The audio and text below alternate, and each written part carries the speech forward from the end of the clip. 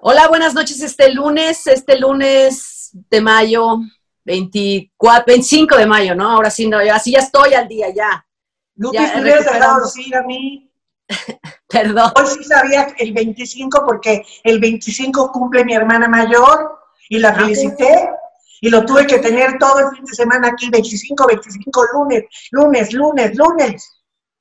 Qué bueno, qué bueno, qué, qué bueno que tengamos esas fechas. Ah, pues hoy es cumpleaños también de mi sobrino Rafa, así que le mando un beso y un abrazo. Y Ah, tenemos bueno. invitada, una invitada que ustedes adoran y quieren y les cayó muy bien y todo, que es Adriana Páramo. Ay, qué hermoso. Gracias, Lupita, por esa presentación, querida Claudia. Gracias por permitirme acercarme a su auditorio a mandarles un gran abrazo al corazón. No, Qué gracias bueno. por estar con nosotros, Adriana. Siempre es un placer. Un Gracias. Uno piacere. Y a propósito de piacere, ¿qué fue lo que dijo Cepillini? Ahora, Ay, en no. otra de sus eh, No, yo casi no, mira, de por sí ni lo puedo ver al tipo, no me gusta. Me lo chuté por mis hijos durante mucho tiempo y no me gustaba de payaso. Pero ahora que los hagan en una entrevista y que platica de Dana Paola, que en alguna ocasión ella coinciden en algún lugar y entonces ella como que, pero te estoy hablando de, de Dana Paola más chica, eh, que no le gustan los payasos. Hay mucha gente que no le gustan los payasos. A partir de ahí, bueno, no se le olvida, es un rencoroso, porque lo acaban de entrevistar y agarró y dijo, bueno, sí, eh, a Dana Paola no le gustan los payasos, pero bueno, eh, a mí tampoco me gusta su carrera, ¿qué, qué carrera? Eh, su trayectoria, ¿cuál trayectoria? No, ahí sí Cepillín Está equivocado. se barrió, se barrió, porque Dana Totalmente Paola, equivocado. imagínate, Claro. oye, Dana Paola empezó, si no, si se acuerdan, Dana Paola empezó chiquitita en una telenovela producida por Mapat que se llamaba María Belén. Una niña hermosísima, y de ahí no ha parado, y de ahí no ha parado. Yo creo que Cepillín, si- en vez de andar diciendo que Juan Gabriel está vivo, mejor que ponga a estudiar cuando va a hablar de alguien, ¿no? Digo, todos ubicamos Lo a, hizo- a María Belén, ¿no? Oye, o sea- lo hizo por, lo hizo por ardido.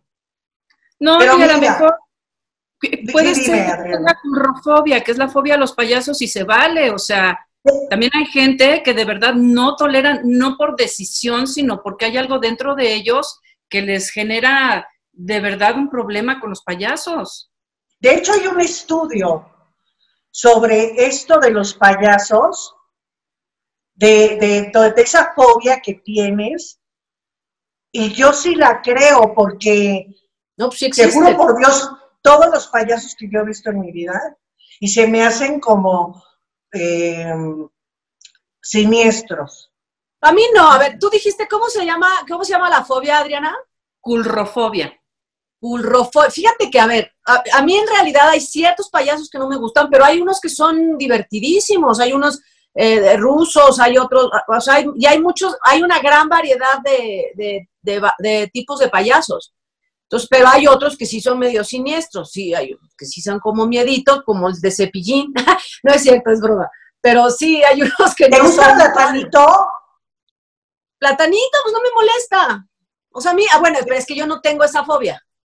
Ay, a mí se me hace corrientísimo, pero bueno. Oí Es Este, payasito para adultos. De los payasos que conozco. ¿eh? Y el de la película también. Ándale. Esa, por ejemplo, yo no la veo ni de risa, pero yo no veo películas de terror porque, olvídate, el otro día vi, estoy viendo una serie que ya está a punto de terminar, que se llama Defending Ja- Jacob, defendiendo a, a Jacob, que está en Apple TV, si la quieren ver. Y es un niñito que está tiene 14 años, está acusado de haber matado a uno de sus compañeros. Entonces, bueno, pues ya es como, son como siete capítulos en los que va, porque es uno semanal. Y el otro día, el último capítulo que vi el viernes, eh, hay, una, hay una parte en donde se lee un, donde se describe el crimen. Todavía no sabemos quién mató al, mucha, al chavito que mataron, al Bean. Pero hay un, hay un escrito, no les voy a contar cómo ni por qué, pero leen una carta en donde describen el, el asesinato. No tienes idea las pesadillas que tuve. O sea, pesadillas de, de- y lloré, lloré toda la noche, pero dentro de mi sueño. Entonces, ver películas de terror, no, ni de risa, ni no de hay risa. necesidad. La qué necesidad. Oye, y aprovechando de una vez les recomiendo para que ahorita entremos al otro tema, es, empecé a ver una serie que se llama Sweet Magnolias, que es son tres mujeres, una de ellas es eh, una chef, que es la que salía en la- una serie que se llamaba Drop Dead Diva, una mujer encantadora, la verdad, y es, em, ella es una chef que tiene una hija, el papá se fue, la otra es una mujer que se acaba, se está divorciando apenas, y, se- y la otra es una abogada, soltera, sin hijos y demás. Entonces está muy bonita, muy sweet y para esta cuarentena, como una novelita rica, amable. Esas son mis recomendaciones de hoy. Ese, está en Netflix, Ok. ¿ok? Oye, y entonces, miren, pa- antes de que entremos, si me permiten leerles los mensajes que llegaron, les voy a leer nomás dos mensajes del público. Mira, me encantó este de Michelle del Campo, que dice que somos como el, eh, este, ella nos escucha y nos hace favor de ver, y su esposo somos como su placer culposo y también nos escucha.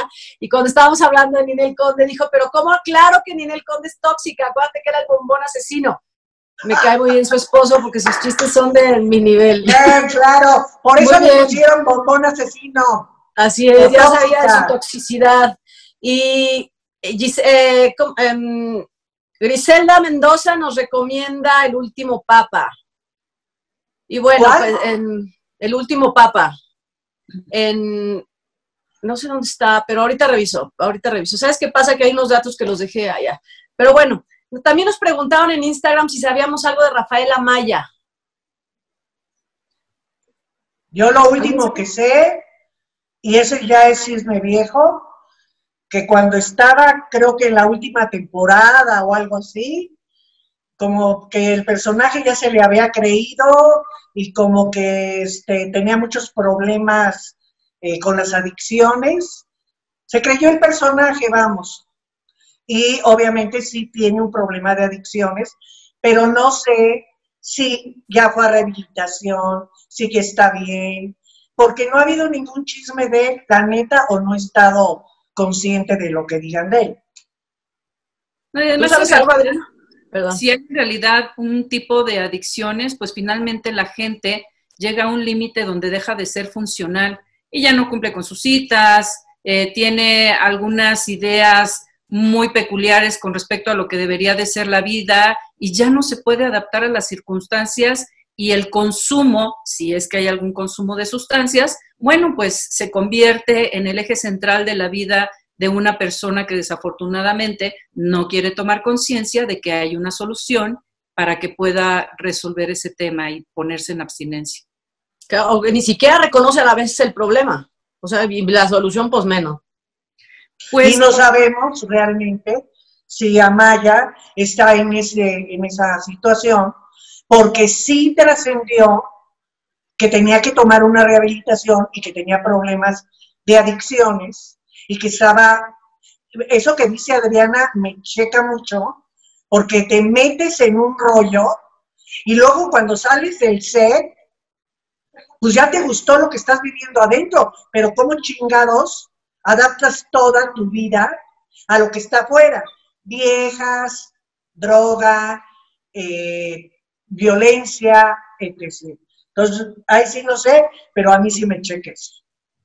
Sí, porque es muy complicado de pronto regresar a la realidad y sobre todo con el consumo de ciertas sustancias, pues hay paranoias, piensan que todo el mundo los persigue, que el mundo es un lugar hostil, que nadie los quiere, que eh, van a detener el consumo de la sustancia cuando ellos quieren. Siempre en el consumo de cualquier sustancia que nos lleve a un estado alterado de conciencia, la persona sabe que no está haciendo bien. En su yo interno sabe perfectamente bien que necesita resolver ese problema, pero piensa que todavía es manejable, aunque esté echando su vida por la borda.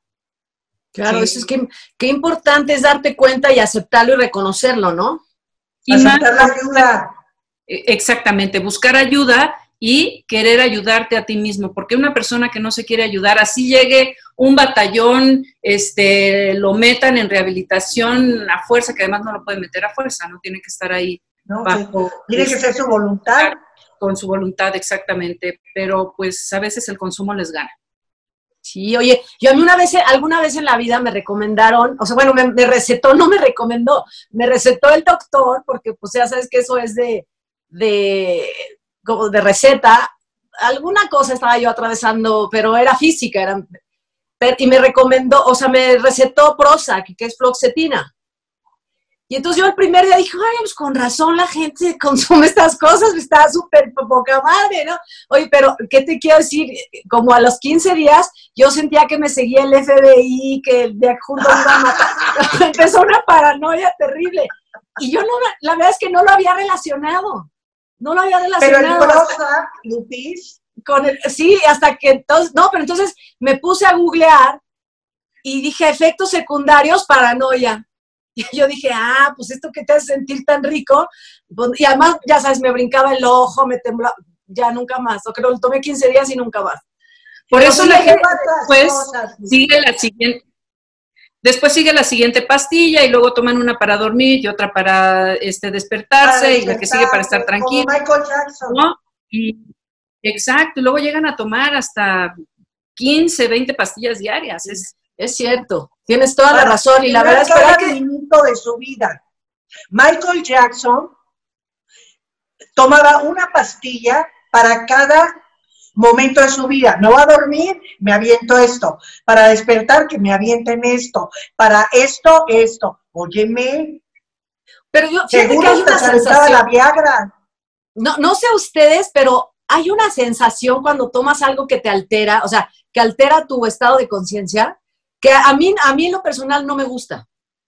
O sea, hay una cosa que, ya como que, o sea, no está padre perder el control sobre tu persona. Sí, pero yo, me, imagino que estamos aquí hablando de, de, ya cosas muy fuertes, ¿no? Como medicamentos muy fuertes. Porque, a ver, Lupis, tú me dices Prozac es la fluoxetina, ¿no? Pero el Prozac yo creo que tenía un X componente. Luego ya le preguntamos al doc, a Doctor House, un X componente infinitamente más o más fuerte, porque yo sí me acuerdo, eh, se le llamaba la pastillita de la felicidad, ¿no? Sí, por es lo que te digo, te sientes muy bien, pero, pero tiene efectos secundarios en algunas personas como yo. Sensibles. Así es. Pero tú nos ibas a decir, eh, eh, Adriana, perdón. Se requieren ciertas características para que una persona se vuelva adicta a una sustancia. Por ejemplo, hay gente que tiene este, adicción al alcohol y de ninguna manera va a consumir drogas, o hay quien consume drogas, alcohol y todo lo que se le pone enfrente, pero se necesita que, eh, porque también tiene mucho que ver con el cerebro y con el sistema límbico y tendríamos, necesitaríamos mucho tiempo para poder este, platicar de a dónde se va cada sustancia, pero se requiere un tipo de personalidad y ciertas características fisiológicas para tener preferencia por alguna sustancia en específico. Ah, ok. Ok.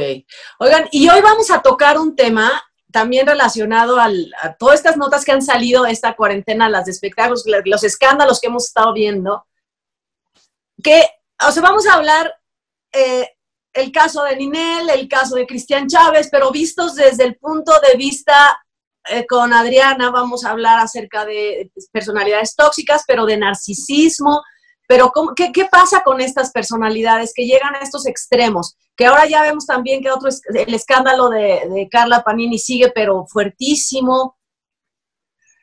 ¿Quién quiere empezar? Pues Adriana. Adriana. Si quieres, platicamos un poquito precisamente de la personalidad narcisista. Y las características que tiene un narcisista es que se cree mejor que los demás, siempre quieren ser el centro de, atracción, son encantadores al principio, te enamoran, te dicen, te avientan palabritas lindas, ¿qué puedo hacer por ti? ¿Qué quieres? Mientras van trayéndote a, como a su cancha, ¿no? Son muy manipuladores. Te dicen lo que quieres oír para obtener un beneficio que está ahí atrás y que finalmente hagas lo que ellos quieren. Carecen de empatía, no son capaces de ponerse nunca en los zapatos del de enfrente, a menos que como un mecanismo de manipulación puedan llorar contigo, este, eh, darte palmaditas en la espalda mientras te llevan a que confiesen, ellos son profundamente envidiosos. No pueden ver que el de enfrente tenga algo mejor que ellos porque inmediatamente se lo van a querer quitar. No les gusta recibir órdenes y se muestran invulnerables. Siempre están en línea, no lloran, no, no. A menos que necesiten manipular al otro a través del llanto. Y las características son muchas. Aquí lo que me gustaría dejar como antecedente es que en alguna medida todos somos un poquito narcisistas. Los niños, eh, antes de los seis años, pues tienen mucho de ese narcisismo para poder sobrevivir, quieren ser el centro de atracción, son manipuladores y todo ese tipo de cosas. El problema está cuando estas características se vuelven patológicas y hacen que esta persona de verdad sea insufrible y que abuse de todas las personas que están alrededor. ¿Y qué característica, Adriana, tendría que tener o tienen esas personas que se sienten atraídas por un narcisista? ¿Qué inseguridad, este bajo perfil? ¿De qué hablamos? Pues es que a veces mi pareja es mi espejo, aunque no me dé cuenta. Y a veces yo tengo de manera pasiva las mismas características que tiene la persona con la que me relaciono. Ok. Y en el caso de codependencia, cuando estamos hablando de codependencia, pues inmediatamente podemos decir que lo que está sucediendo es que eh, se junta el hambre con las ganas de comer. Y la gente e, es exacto, o sea, los changos con los changos, las jirafas con las jirafas, y es muy complicado que una persona que no tiene problemas de codependencia inmediatamente eh, se pueda relacionar con alguien. O sea, el victimizarse es parte también de la codependencia. Es ah, no saber cómo relacionarme de una manera distinta y quizá también yo estoy siendo narcisista cuando me estoy eh, en este proceso de decir, pobrecita de mí, el otro es más malo, yo soy más buena, este, y los dos dicen exactamente lo mismo. Si pones las entrevistas de los dos, casi siempre van a decir lo mismo. Ah, ok, ok. Oye, mira, estaba yo, eh, yo, con, bueno, encontré aquí eh, hace unos meses al doctor Sam Backnin, les mandé el, link de su canal en YouTube si los demás quieren revisar lo que tiene, habla mucho de lo que tú estás diciendo es un especialista, de hecho, en narcisismo. Y hay una cosa, eh, eh, como tú mencionabas, eh, ellos son manipuladores y demás, pero él dice, además, lo que tú le des a él, o sea, haz de cuenta, es como alimentarlo. Si tú vas con el narcisista y le dices, oye, qué bárbaro, este, eres, el, eres muy bueno en esquiando, no, no sé, estás alimentando su ego. Y es lo que estás diciendo tú ahorita. Adriana, es como un, eh, son uno con otro, se necesitan uno y otro, la víctima y el narcisista, y la víctima está alimentando, está alimentando el ego del narciso. Es, es un fenómeno muy interesante porque se da en famosos, pero también en no famosos, o sea, en gente común y corriente que en algún momento de su vida ah, tuvo una ruptura con su, el doctor dice una, una ruptura con su yo, se fabrica uno nuevo y tiene esta personalidad. Eh, qué interesante tema, ¿eh? Además, está todo estudiado. Hay un triángulo que se llama el de Karpman, que se utiliza muchísimo en codependencia, que es, eh, primero me hago súper necesaria y hago todo por ti para irte a rescatar, ¿no? Eh, después, cuando tú no me haces caso a mí en, en ese rescate, porque lo que quiero es que dependas de mí, entonces me enojo y con esa furia voy y la descargo en ti. Y entonces le estamos dando vueltas y vueltas a, la personalidad que se va moldeando y que, eh, y que toma distintas características dependiendo del proceso en el que está la relación. Esto eh, puede ser en el momento en el que, eh, por ejemplo, yo estoy con mi pareja y soy la víctima de esa persona. Cuando me envalentono y abandono la relación, entonces el tirano, por llamarlo de alguna manera, o el evasor, porque son dos personalidades, el evasor y el que persigue, cuando el evasor siente que ya no tiene a la víctima en sus manos, que no lo están persiguiendo, que no tiene a su fan adorándolo y diciéndole lo hermoso que es, entonces empieza a perseguir a la otra persona y este y una vez que convence otra vez a la víctima, regresa la relación al mismo espacio. O sea, no es que uno tome una posición y el otro y se queden ahí en ese espacio. Se están cambiando constantemente las posiciones y lo que hay aquí es no saber relacionarse de una forma adecuada. Y también se necesita ayuda. Además es un juego, para mí, así como perverso, a, nivel mental estoy hablando, hablando de la entrevista de, que, que me pasaste, Lupis, porque de alguna manera es estar eh, con las debilidades del otro, el narcisista está jugando, ¿no?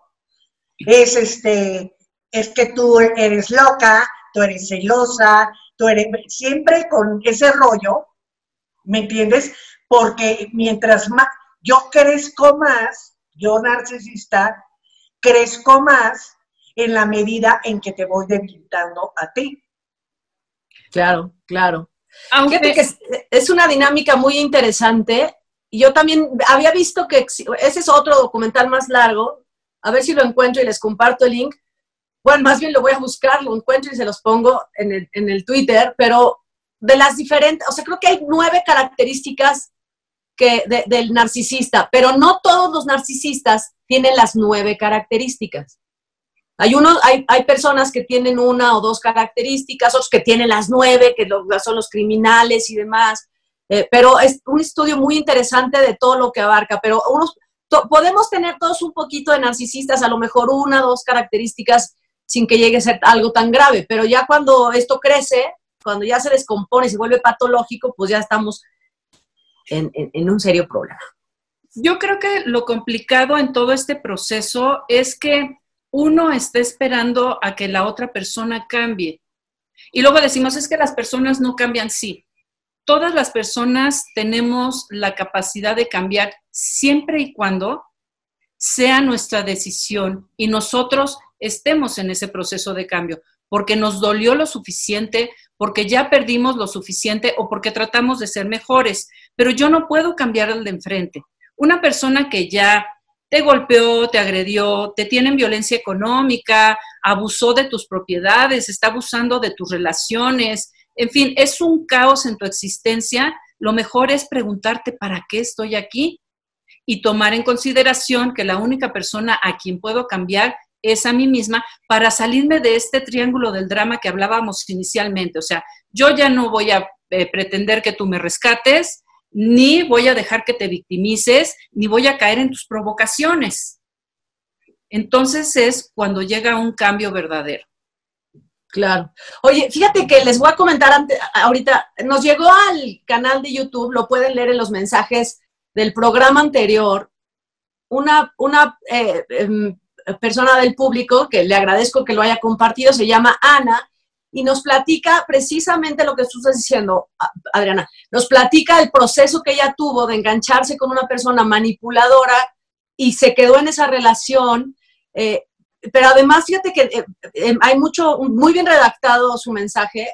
Ella dice, yo, yo traté de explicarle a la gente, a mi familia, a mis amigos, nadie me creyó, me quedé sola porque como tú dices, el, el, este narcisista o son como muy charming, entonces pues como no, no me digas que él golpea porque no es cierto, no te lo puedo creer. Claro, sí. Y bueno, vayan en el canal, en, los comentarios del programa pasado que fue el jueves, em, busquen ese comentario de Ana y te agradezco mucho que nos hayas compartido y que lo podamos exponer aquí. Y bueno, por ejemplo, hablando en este tema, Cristian Chávez le da un botellazo en la cabeza al galán, al novio, eh, y dice que el novio lo está chantajeando, y luego ya apareció el novio ahora diciendo, yo no lo estoy chantajeando, él me está chantajeando con unos videos, yo lo único que quiero es recuperar mi vida. Eh, sí reconozco que los dos habíamos tomado, reconozco que, pero yo no le pegué y, y él, ya. A ver. A ver, en esta pareja, ¿quién ¿a quién definirías como el narcisista? ¿Quién, o sea, ¿cómo, cómo deshacemos este nudo? A pues ver, ¿le preguntas a Adriana o, yo puedo? A los dos, no, pues a las dos, las dos, más túrnense. A ver, obviamente Adriana va a tener la palabra en este sentido, Pero te voy a decir algo, Lupis. En este eh, tema específico de Cristian y la pareja, quiero hacer una acotación para que nos entendamos. Ya vimos la otra parte que es bien importante verla. Como nosotros vimos la de Giovanni. Ok, hicimos nuestro comentario. No gustó. Va. Ahora, la pareja de Cristian hace su comentario y da su versión. La volví a ver, así como vi la de Giovanni.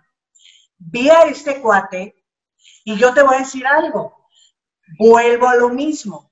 Fue muy claro en lo que dijo. Lo dijo de una manera en la que sí le crees, porque te está exponiendo en todo el contexto de lo que pudo haber sido esa relación entre ellos, ¿ok? Y hay personas que podrían irse, o específicamente, por ejemplo, en el caso, yo lo vi en el programa de Anita Alvarado y, este Gustavo Adolfo Infante, y voy a, a, poner los puntos en las IES, y entonces aquí termina de hablar el cuate, y aquí sí Gustavo Adolfo Infante dice, es que Cristian Chávez tiene ya antecedentes de toxicidad, ya ves que se agarra de, de todos los comentarios que hacemos tú y yo y los dice hasta igualito. Y Adriana y todos, claro. y Adriana y José Ramón y, y, claro, todos. Se agarra de todos, pero bueno. Y entonces no, es que tiene antecedentes, sí, como lo que decíamos nosotros de, de, de, este, de Ninel Conde.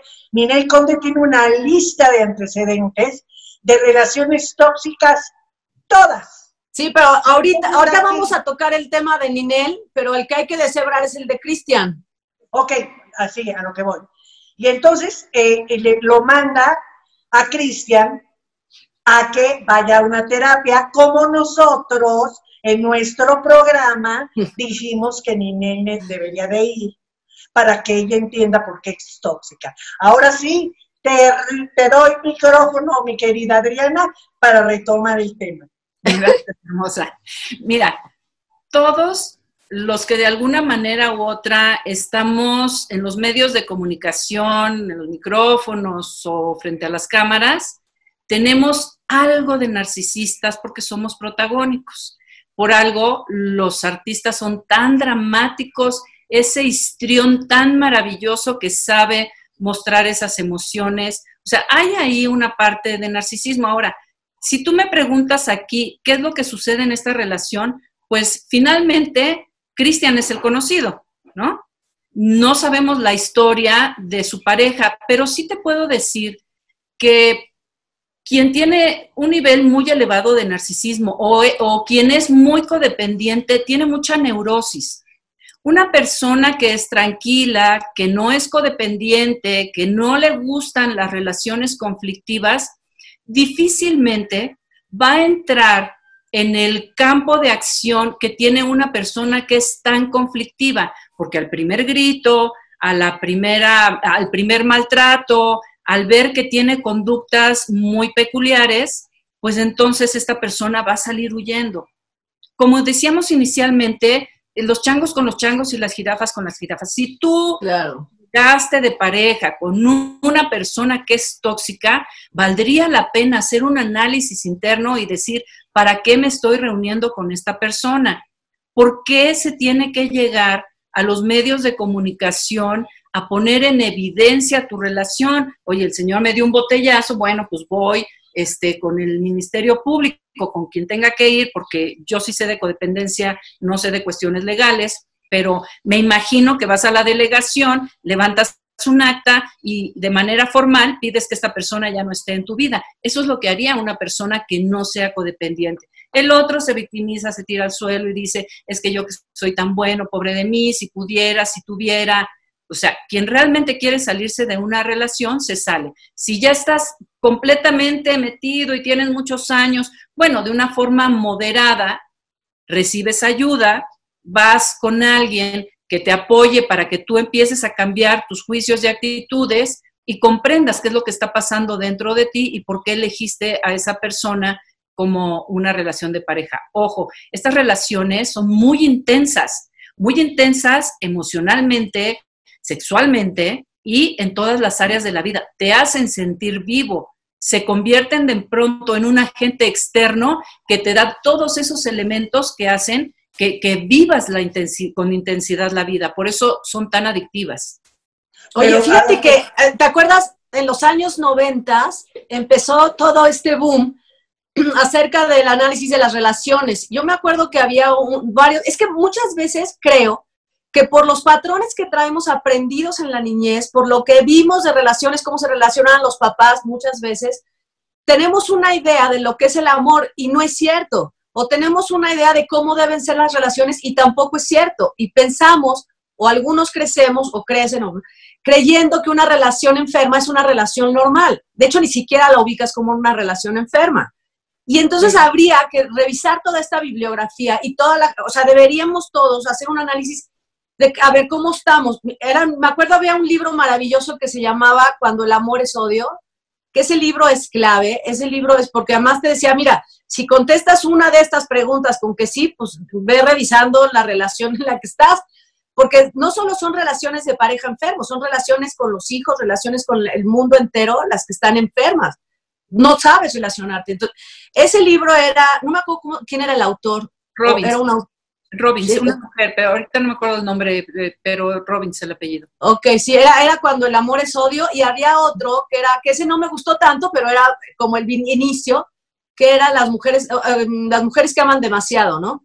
Oye, y hay uno, Lupis, súper recomendable, no sé si, Ninel tenga tiempo, ahorita en la cuarentena que ni quiere, oye, que mi tiempo tiene, digo, perdón, que no le dan chamaco para que lo atienda, le voy a recomendar a Ninel, por favor, que lo lea porque te siembra cabrón. Ahí te encuentras, tú encuentras a tu abuela, a tu madre, a tu cuñada y a la vecina. Se llama La Mujer Rota. Ok. De Simón de bueno. Ah, vamos a, déjame, déjame anotarlo aquí. La mujer rota te mueve hasta la muela que no tienes, cabrón. Yo les voy a recomendar otro libro de codependencia y conste que no es anuncio, ¿eh? Amor versus codependencia y es este que ustedes me hicieron favor de, ah, presentar. yo lo tengo y es bastante bueno. O sea, ahí trae todas las preguntas, respuestas que puedan tener con respecto a, la, a la codependencia. Y lo pueden pedir ahorita online. Sí, amor versus codependencia pues ya tienen que leer y mucho. Ya tienen y mucho. Oye, yo, ¿sabes qué? Me regalaron este libro. No sé si lo han visto. Sí, es buenísimo. Este es excelente. Me lo regaló una amiga que quiero muchísimo eh, y me conoce muy bien y habla sobre el ego. Sobre es, Satán, la autobiografía, y, y te dice yo soy tú. O sea, el ego, Satán es el ego, ¿no? Y te dice todas las formas en las que el ego se manifiesta y de veras que te pone, es como un libro que puedes leer seguido y luego consultar. Yo eh, me acuerdo que cuando me lo dieron estaba ahí Arab que el actor que es encantador, y le dije, no, pues ya, o sea, yo no lo necesito. Y me dice, si dices que no lo necesitas, léelo dos veces. y sí, tienes razón, si, si crees que no tienes ego, revísate, porque cuidado, a lo mejor está, está disparadón, pero bueno, eso son unas buenas recomendaciones ya de libros para que libros, por favor, aviéntenselos porque no nada más es, claro, la, la, la imagen en la televisión, las series, todo, te dan todo muchísimo más fácil. Pero cuando te metes a leer, y sobre todo de este tipo de, que yo te digo que he estado leyendo más que viendo tele, este, es increíble, porque hasta de cuenta que el pinche, bueno, el de la mujer rota, te da de de, de, de, Te confronta, pues te confronta. Ese es el tema. Que te, el tema es que todas las, todas las lecturas, el libro de Adriana, todo, sí, sí sepas y seas tan honesto de reconocer las debilidades que tú tienes y tener la voluntad de corregirlas. Yo creo que eso es lo más importante de todo. Claro, mira, ya investigué, Las mujeres que aman demasiado le escribió Robin Norwood. Ok. Y, no me acuerdo cuál otro libro. El otro es eh, Cuando el amor es odio. Ese es un librazo. Entonces, de los años 90, era, digo que cuando empezaba este boom, estaba el doctor Lamoglia, ¿te acuerdas en Fórmula? Sí, sí, sí. Claro. Que empecé a verla de a mí al principio me gustaba mucho el doctor Lamoglia, pero después ya era demasiado, ya era mucha, ¿Sabes qué le pasó? Lo que nos había pasado, que hablaba mucho de política, perdón, ya no hablamos, pero bueno. Pero empezó como No, a no, ser no, un poquito ahorita más. vamos a hablar de política. No, no es cierto, pero Deja ahí. Empezó a volverse un poco- decirme quiénes son los empezó a volverse un poco más, empezó a volverse un poquito más agresivo y pues ya, pero él empezó, me acuerdo que hacía, estaba en Diálogos en Confianza, ¿te acuerdas? En Canal 11 Sí. y, hacía, y hablaba de estos temas muy interesante. Era un precursor de este tema de las relaciones complicadas. Cuando el amor es odio es de Susan Forward, que además Esa. ha escrito una cantidad de libros extraordinarios con respecto a todos estos temas de amor y desamor. Así es. Porque lo que decíamos es, y lo que tú dices es cierto, para hacer un cambio en la persona hay que tener voluntad de hacerlo. Lo grave, y creo que para eso son estos libros, es que no sepas o no te enteres que tienes que hacer ese cambio. Y que creas que lo que estás viviendo, como dije hace hace rato, es, es normal. Pero a ver, Hay que revisar. cosa. Si mi papá, vamos a poner un supuesto, si mi papá le pegaba a mi mamá, mi mamá se ponía muy triste a llorar y luego mi mamá le pegaba a toda la familia y entonces llegaba el niño más chiquito de la familia y pateaba al perro. Ese es lo que voy a creer que es la normalidad de la familia. Eso sin pensar, nada más estamos hablando así de violencia, pero eso sin pensar en la cantidad de patologías que puede haber dentro de una familia y de abusos y de cosas que pueden vivir. Entonces, tenemos la tendencia a normalizar lo anormal y decir, así es la vida. Y si así es la vida y para que mi hijo estudie tengo que quitarme el cinturón y pegarle 15 cinturonazos y así va a aprender, pues obviamente estoy fracturando la voluntad de un ser humano y luego digo, ¿por qué mi hijo no quiere salir adelante en la vida? Pues porque lo fracturaste. La gente nunca debe vivir en violencia. Esa es la Claro. primera norma. Entonces, cuando llega alguien y me dice, ¿qué crees? ¿No es normal que le pegues a tus hijos?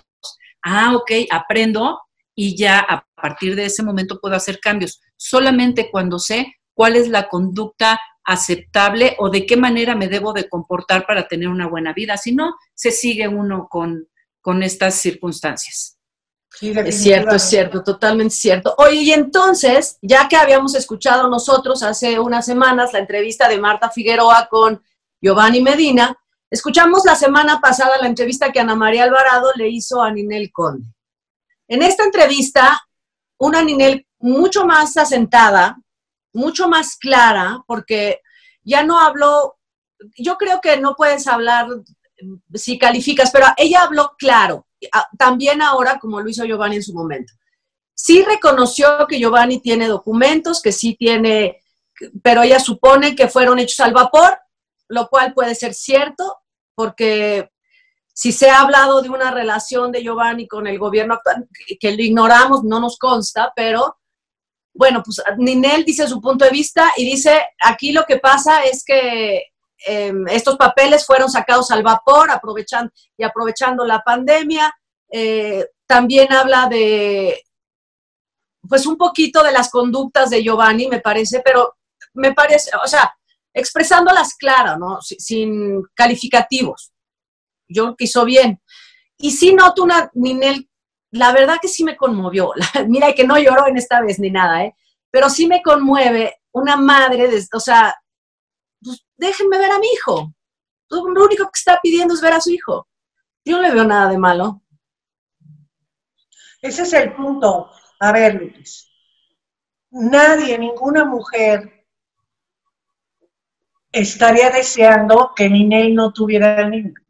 Neta. Eh, creo que el punto real es que la actitud de Ninel, de, de todo, desde que nació el bebé, de voy, vengo con la pareja, me grito, no me grito, en, la, en el contexto en el que se dio su embarazo, que ahora lo sabemos. Acuérdate de la primera grabación que enseñó Ninel, de Giovanni, cuando Sí, era sí. su pareja, que Giovanni le está gritando, y tú mataste a mi hijo porque ella tuvo un sangrado en el embarazo de su hijo Emanuel. Le gritonea este Giovanni porque él piensa que ella intentó perder al bebé. Al final de cuentas sí tienen al bebé.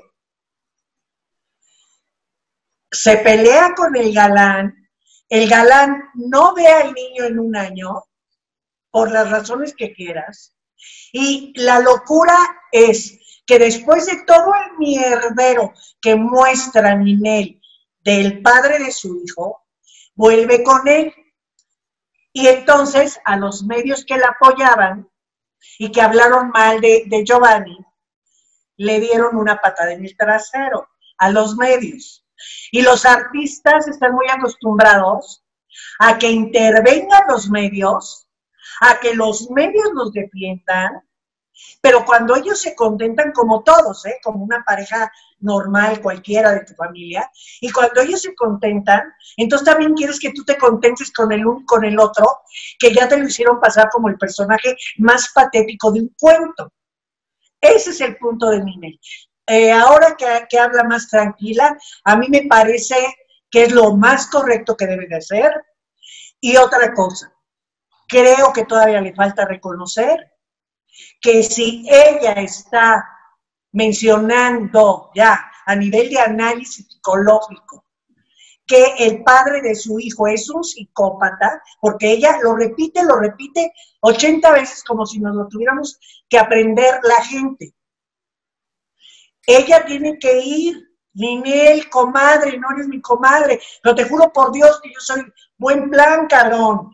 Agarra y vete con un psicólogo para saber por qué te relacionas o te relacionaste con un psicópata. Ahora, ella reconoce, ella cuestionando. Ella reconoció en la entrevista con Ana María que es codependiente. Ella sí, lo reconoció, que eso está bien. No, porque, eh, o sea, mira, hay una, diferencia que no. Una pintadita de verdad, no, no mira, es que no, no, es, tanto eso. Mira, aquí lo que pasa, la diferencia entre las dos entrevistas de Marta Figueroa, que me gustó, y la de Ana María, que también me gustó, es que Ana María sí le dice, a ver, Ninel, ¿tú por qué te relacionas? O sea, ¿tú por qué te quedas? Y Ninel lo reconoce. En la otra entrevista no hubo ninguna confrontación con respecto a la personalidad de Giovanni. Ya me entendiste. O sea, no, no le dijeron, oye, ¿por qué dice Ninel que eres un psicópata? Eso no se lo preguntaron. Ah, es que... Eh, no hubo confrontación. Hay las diferencias de cómo la intención de la gente que te entrevista, porque si tú tienes una bronca, y te estoy hablando de Gustavo Adolfo Infante, ya la tiene directa con Giovanni, ya tienen un pollito que comerse, porque Giovanni lo ha amenazado a Gustavo Adolfo Infante. Gustavo entrevista a estoy hablando periodísticamente hablando, haciendo una observación. Y entonces yo, periodista, tengo un pollito que me quiero comer con el cuate con el cual tú traes un pollito. Y entonces tú y yo vamos a jugar a comernos el pollito, el a destrozar el pollito. ¿Me explico? Cuando tú, tu único interés es saber ¿Por qué chingados andas en esto? ¿Y por qué te está pasando esto sin señalar, eh? sin acusar? Pues se puede hacer una entrevista como la que estás mencionando, Lupis. Y salen cosas en donde si tú le cuestionas bien a, la persona que estás entrevistando, ella se va a abrir y te va a cuestionar eso. Pero si tú vas a ir a la entrevista a donde la quieres llevar, porque el otro también es tu enemigo, estamos muy jodidos. No, cada, bueno, y cada quien su estilo de entrevista y demás, pero bueno, y entonces tú en este, en este asunto, Adriana, ¿cómo ves, cómo ves ahora la postura de Ninel? ¿Sabes qué? A mí, cuando los veo, me recuerdan a esa película de la Guerra de los Roses, que se dan hasta con la cubeta y por debajo de la lengua. Yo, si fuera amiga de Ninel, y la tuviera cerca para poder hablar con ella, además de sugerirle que qué bueno que reconoció que tenga codependencia, el siguiente paso es empezar a sanarla y trabajar la codependencia como cualquier adicción y muy a profundidad, que ese es un tema, pero los dos están escalando y escalando y escalando el problema diciéndose una cosa y el otro dice otra, uno más calmado, el otro con papeles, con pruebas, se dicen, y al final de cuentas, quien realmente va a pagar los platos rotos es Emanuel, es, el, es la gran víctima, el gran inocente que están afectando aquí porque imagínate, un niño tiene la mitad de genes del papá y la mitad de genes de la mamá. Se le va a enseñar a odiar a su 100% porque tiene aquí al papá este, diciéndole una cosa y a la mamá diciéndole otra y generando más problemas. Si a mí me dijeran qué es lo que hay que hacer, pues lo que tienen que hacer es llegar a un acuerdo, pero no público están dañando de una manera irreparable a su hijo, porque tarde o temprano va a ir a la escuela y los niños le van a decir, y tu mamá y tu papá, y el otro dijo, y simplemente, aunque no lo digan, el niño se da cuenta perfecto de lo que está sucediendo en casa, que no está viendo a su mamá. Si es muy difícil que le den la custodia de los niños al papá.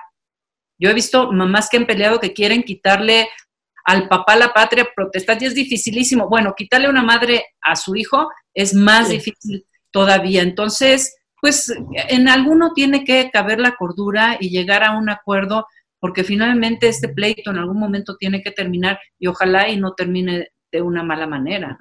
Ah, yo creo que aquí, en este caso, estás juntando dos personalidades muy narcisistas. Mucho, los dos. Pues son un espejo. Te digo que yo veo las entrevistas que les hacen y los dos se quejan de lo mismo y de pronto resulta que los dos son muy buenos.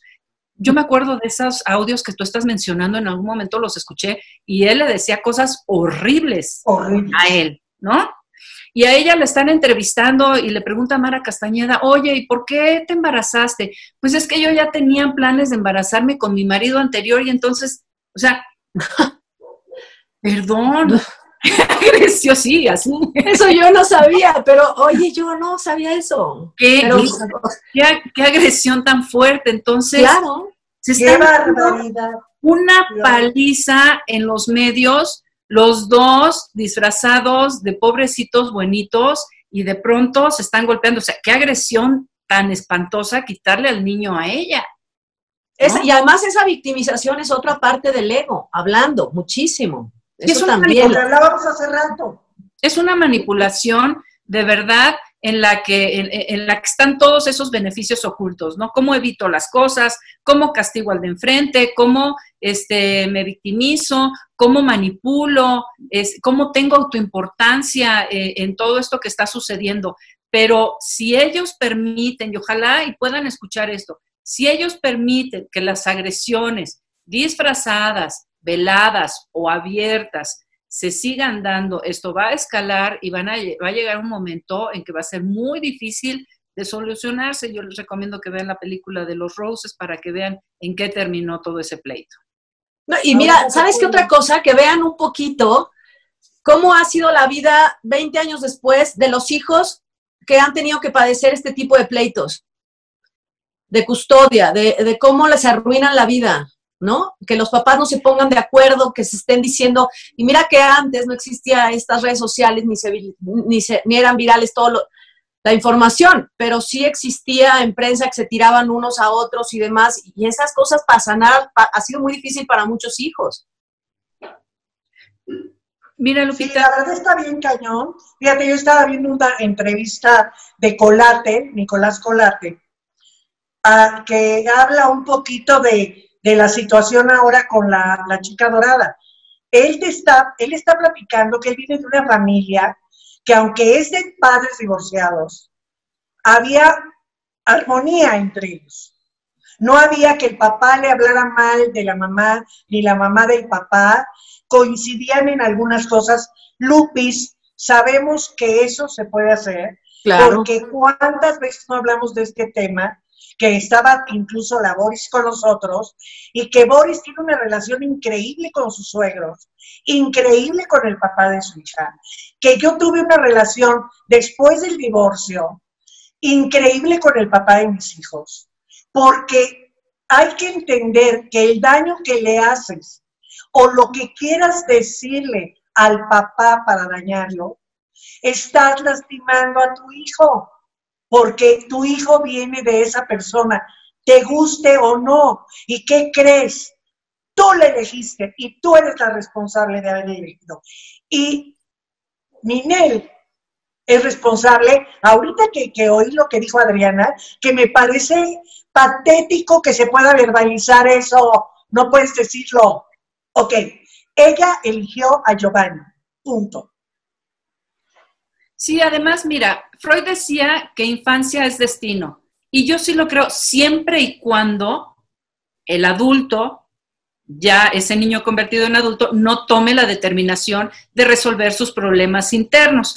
Pero eh, tú decías, Lupita, que vea estudios y qué le pasó a esas personas. No necesita irse a ver estudios. Podemos hablar de un problema ahorita que está gigantesco y ojalá y, pongan sus barbas a remojar. Nada más hay que ver el pleito que tiene esta eh, Alejandra Guzmán con su hija. Ahí hay problemas que no, de, la infancia que no se resolvieron y que ahorita están brotando en un problema gigantesco. Entonces, sí afecta profundamente a los niños, tanto para bien como para mal, la forma de vivir de sus padres. Sí, sería interesante que se ojito en esa relación.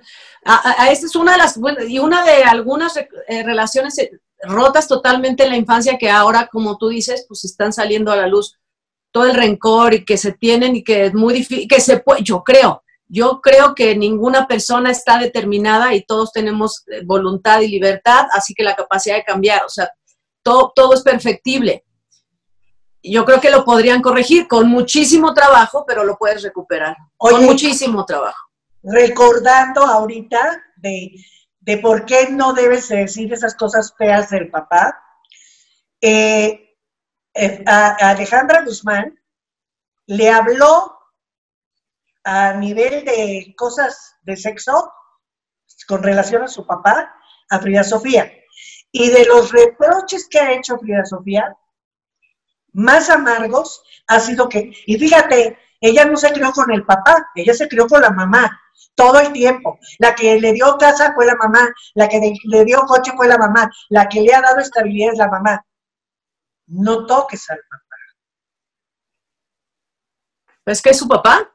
Es que, o sea, bueno, malo o regular, es su padre, como dice Adriana. Pero lo que pasa es que cuando hay abandonos, en especial que el papá se va, y esto le sucede a un tercio de la población en México, desafortunadamente, tenemos tanto miedo a que nos vuelvan a abandonar que con quien nos peleamos realmente es con quien sabemos que se va a quedar, porque mal o bien, con pleitos, pleitos, con estructura o sin estructura, Alejandra ahí estuvo para su hija. Y el papá salió volando, pero como es una imagen que se ha idealizado a través de los años y es una imagen volátil que se puede ir como se fue inicialmente, entonces con quien... y hay muchos eh, lazos de amor que no comprendemos. Y al final de cuentas, aún en una relación tóxica, hay un amor muy profundo que no podemos ver porque estamos en medio del huracán. Es una forma torcida de amar, pero es una forma de amar porque así lo comprenden todos los demás. El hecho de que tomen conciencia y pongan acción para poderlo resolver, y esto se logra a través del autoconocimiento. Conocerme a mí me va a dar la pauta para modificar todo lo que está en mi vida, tener estructura y construir la vida que quiero tener. Y yo creo que tenemos ahorita suficiente tiempo para dedicarnos un ratito al autoconocimiento y hay que leer mucho y hay que trabajar mucho, pero hay que hacerlo. Y la verdad es que eso te da una gran tranquilidad a la larga. Bueno, y, a la corta también. A la corta. Ser feliz, porque al final de cuentas, a donde queremos llegar todos los seres humanos es a dos temas. sentirnos amados y ser felices. ¿De qué manera queremos, queremos sentirnos amados? ¿Con gritos, golpes, sombrerazos? ¿O de una manera? Lo que pasa es que, como les comentaba al principio, los amores tóxicos son de una intensidad arrolladora, nos hacen sentir vivos. Es, Ay, cuánto me ama. No, es como cuando la gente eh, equivoca la felicidad con euforia. O sea, no distingue cuál es la felicidad y cuál es la euforia. La felicidad son pequeños momentos de gozo que tenemos a lo largo de nuestra existencia y van sumando y sumando y sumando. Y entonces cuando haces un análisis dices, qué feliz he sido en la vida pero todos queremos estar en, el, en el... En el happy, happy todo el tiempo. Exacto, en, en, la locura, en la emoción, en los viajes, en las compras, en toda esa locura que es una situación que nos va a crear un vacío mayor al que sentimos cuando estábamos buscando todos esos elementos externos que queríamos que nos llenaran la existencia. Totalmente cierto, totalmente cierto. Pero bueno, pues ya hemos llegado al final de este programa del lunes, que creo que ha sido mucho, muy interesante. Hemos escarbado un tema muy padre que yo creo que nos podría compartir el público eh, lo, que piensan, pero si tienen alguna duda, si, si tienen alguna pregunta, alguna recomendación, estaría padrísimo que, que nos hicieran llegar, ¿no? Por supuesto, y se lo respondemos con todo cariño. Y el tema, como el tema es narcisismo, que también nos escriban de los que creen que son, de los famosos, obvio. No, no nos pueden decir, mi mamá es narcisista porque no sabemos. De los famosos, ¿quiénes les parecen narcisistas? Y las relaciones complicadas con los narcisos no solamente se dan entre parejas, ¿eh? puede ser en el trabajo, con los amigos, con los... Ah, no, claro. Sí. Por eso, a eso me refiero. Por ejemplo, eh, yo a Trump lo catalogo de narcisista, pero... Bueno, con las nueve características, ¿no? Ah, es Trump, Madonna, porque Madonna, yo sí siento que Madonna es muy narcisista, desde el momento en que ella es la que quiere decidir quién es su sucesora. No, pero, o sea, habría que analizar entonces, mira, deberíamos hacer una continuación de este programa para analizar punto por punto, porque son las, son nueve características del narciso, y entonces, del narcisista, entonces habría que, porque a lo mejor, bueno, Madonna puede ser, pero a lo mejor tiene tres. Sí, en el uno. Ándale, a ver, ¿hasta qué grado?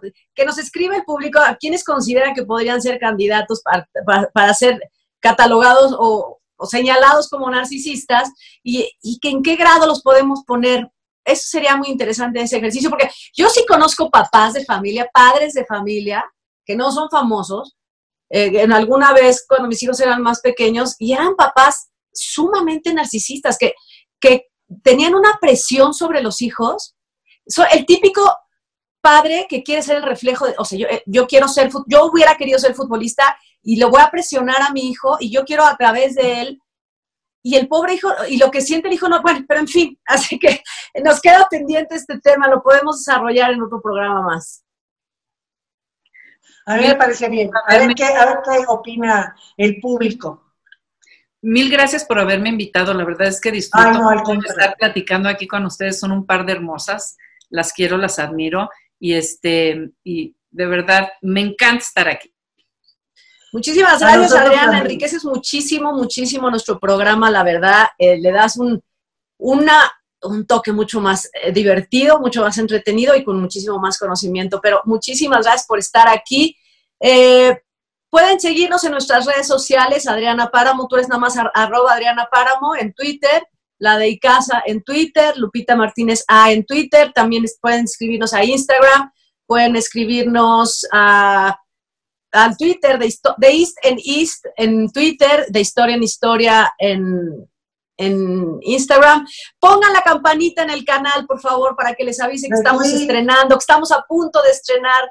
Eh, ya saben que estos programas van con un chat en vivo y entonces ustedes ponen la campanita, les avisa, empezamos a chatear ahí Claudia y yo con ustedes, a veces entra el doctor. Adrián, estás cordialmente invitada al estreno de hoy si tienes tiempo. Eh, y chateamos con el público mientras está corriendo el programa y así es mucho más enriquecido. También visiten la tienda que está en el tweet fijo de Historia en Historia, está en nuestra página de Facebook, ahí está la tienda. Y bueno, visítenla y algo, a ver si encontramos ya pronto otras novedades, pero las que están ahorita son muy buenas. Las trastes de novela, en las playeras hay, hay sombreros, hay gorras, hay unas tacitas. Así es. Visiten la tienda y bueno, nos vemos el próximo jueves, Claudia de Icaza, Adriana Páramo, muchísimas gracias. Yo soy Lupita Martínez. Gracias, un gran abrazo al corazón a todos. Abrazo al corazón.